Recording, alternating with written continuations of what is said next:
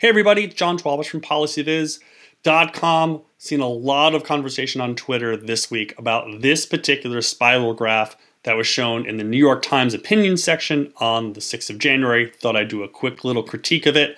I really like it. Why do I really like it? Well, because we have seen this type of graph a million times over the last two years of the COVID pandemic. We've seen these line charts, we've seen area charts, we've seen small multiples. This is from the New York Times as well. You can go in here and you can explore all of this data. You can get it by state, by county, you can get all of this. But here we've got an opinion article, an opinion article from a scientist, uh, Dr. Jeffrey Shaman, talking about his projections of COVID from the Omicron variant. And you can see here we start at the beginning and we sort of cycle out and you can see, well, what's going on with these this little red area? Well, that's the, the projections. That's going to be the confidence bound. As we move work our way down, if you read through this, he's going to describe uh, the projections. You get a line chart here. So you actually have both visualizations.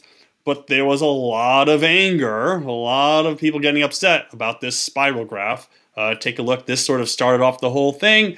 Literally no reason to make this graph into a spiral. Got another one here. Is this graph real? Because wow, that is the most unhelpful graph I've ever seen, and I have seen some truly bad graphs in my day. But I think all of these are missing the point of what we are often trying to do with visualizations is to get people's attention and bring them into the visual, right? This is another way to show the data. Um, I thought Nathan Yau put it really well in his in his uh, newsletter from today. He thinks it's fine for two reasons. It's a lead into an opinion piece, and it's not trying to replace the, the linear view that we all know. And that linear view, of course, lets us get those exact values and make those specific comparisons where the spiral is really letting us see how this thing is getting bigger and bigger and bigger as we move further and further out from the beginning of the of the pandemic. I put a tweet uh, a few hours ago. You know, I, I quite like it. Again, I, I, like that it brings me into the into the op-ed. It's something new, something different. Definitely has caught people's attention. Um, plus, I don't remember people getting all upset about the spiral graph that came out a few years ago. Um, maybe you remember these uh, climate spiral graphs that came out. Um, and of course, now this is animated. It is different. It's animated, showing global climate change. Um, you could see it animates now it's a little different here because each circle is a specific year, so that's a little different. But you get this, you know, this really nice view. And of course, uh, I got some response to that. Alyssa Flower, uh, Flowers, who does amazing work at the Washington Post, did you know um, uh, point that out to me that the climate spirals are, are, slightly different. But again, I like that, and I thought Scott Klein made a really nice uh, comment here that lots of people in the field or, or sort of along the outskirts of, of the field, maybe not neck deep in data visualization, uh, think that you should never ever use circles, should never ever use radial charts. But again, sometimes it's about engaging people. And in this particular case, A, it's an op-ed, and B, you get that linear view further on down in, in the visualization.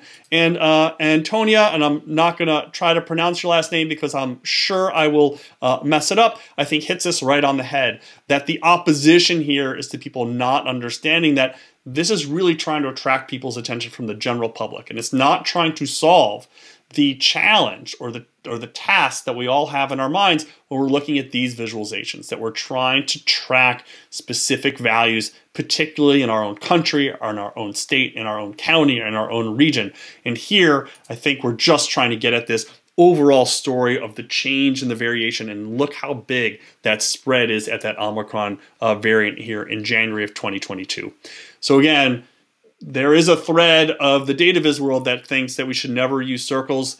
I was used to be a, a, a, subscriber to that way of thinking. I no longer am. I think there's a, a usefulness and utility to having visualizations that don't necessarily allow us to make exact comparisons. And this is one of those cases. This enables us to see the data in a different way. It's a visceral way to see the data and maybe the whole point of this spiral is to get this conversation going that we've been arguing about on Twitter all week. Uh, that whether this visual is good and how many more people have read this article because of that conversation.